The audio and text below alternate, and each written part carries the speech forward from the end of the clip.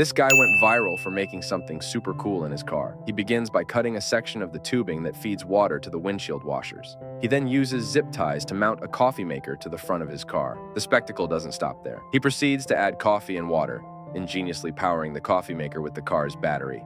He drills a hole into the windshield washer fluid reservoir and sets up a funnel from the coffee machine to this container. Remember the washer tubing? He reroutes it inside the car, making holes behind the driver's pedals and in the dashboard, so the tubing now runs from under the hood directly into the cabin. And voila, he's crafted a coffee machine right inside his car, dispensing coffee at the push of the windshield washer button. Who wouldn't want such a groundbreaking invention in their car?